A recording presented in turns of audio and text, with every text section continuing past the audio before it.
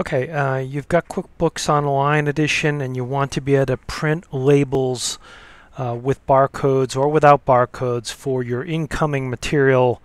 Uh, we can also do it for outbound material using invoices or item lists or sales receipts, but for inbound material you could use estimates or purchase orders, but just covering the quick case here where we're you've got a purchase order um, in your QuickBooks Online Edition I'm just going to query that data right now. Um, I'm in the dev environment here, so I can't show it to you in QuickBooks itself, but we're pulling in data from QuickBooks Online here for three line items on a PO for quantity 8, 1, and 7.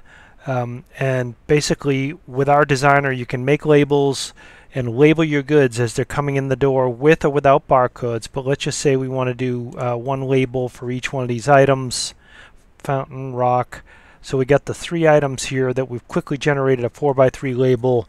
Um, this is all possible with our designer, but here I put the PO number on there, uh, the vendor number.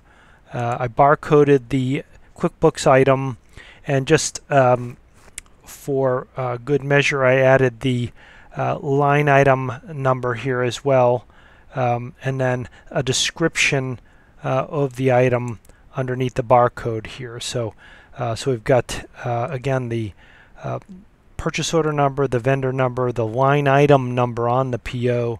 I've got the item barcoded here in the description. So it's just that easy. Um, if you want to do the order quantity, so if you want to put um, labels on each one of the items, then you could just press print order quantity and we'll produce, you know, eight of the first line item. Okay, so eight pumps and then it moves down to the second uh, line item on the order the rock fountain and we do you know one of those and then the soil for uh, looks like three or four labels. So you can do the order quantity for the quantity to print or just do one each and we can put the quantity that's on the order onto the label as well. So uh, so again for labeling your inbound goods with QuickBooks Online couldn't be easier than with Label Connector for QuickBooks. Comes with a full label designer so you can go ahead and like design your labels any way you want. Here's uh, the design I did for uh, creating that label. You can drag any of these data sources over. We have some barcode macros already built in to make barcodes easy. You can do QR codes, regular 1D barcodes, etc. all from our built-in designer and then once you've done done designing the label then you just search on the order pull it up and print your labels. Select the label design that I created.